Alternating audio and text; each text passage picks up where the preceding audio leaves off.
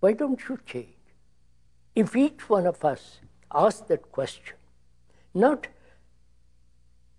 verbally or merely intellectually as an entertainment, but ask that question most seriously and deeply, what's your answer?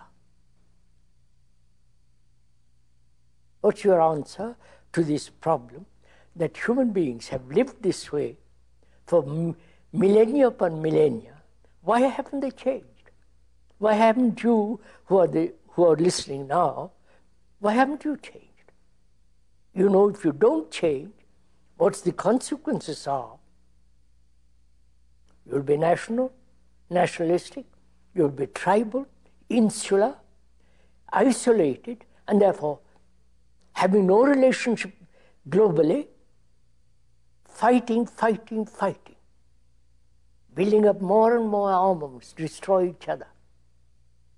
Now, why don't you, if you are at all serious in this matter, why don't you ask yourself that question?